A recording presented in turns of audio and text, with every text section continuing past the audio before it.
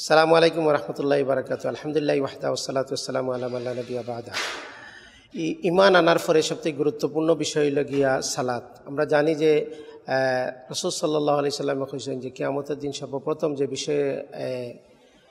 হিসাব নেওয়া হইব সেটা হইল কি সালাত। আর সালাতর পরীক্ষাত সালাতর হিসাবও যার লাগি সহজ হয়ে যাব বাকি সব গাট, বাকি বাকি সব পরবর্তী পরিস্থিতি তার লাগি সহজ হয়ে যাব সম্মানিত উপস্থিতি, আজকে আমরা সালাদ বিষয় লইয়া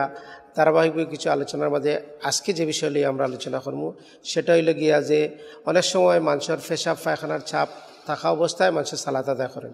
অথচ আমরা জানি যে রসদ সাল্লাহ আলাইসাল্লাম দেখি যে রসদ সাল্লাহ আলাইসাল্লামে সহি মুসলিমর হাদিসের মাঝে আইসে যে কেউ যদি কারোর সামনে যদি খাদ্য আইয়া উপস্থিত হয় অথবা দুইটা নাফাকি বস্তুর চাপ সৃষ্টি হয়, তখন এই অবস্থায় তার সালাত হইত নাই।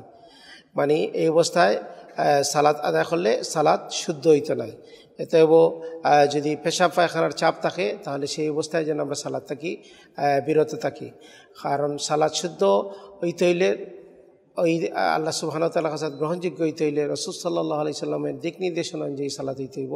আর রসুল সাল্লাহ সাল্লামের নির্দেশনা হইল গিয়া, যদি খাবার উপস্থিত হয়,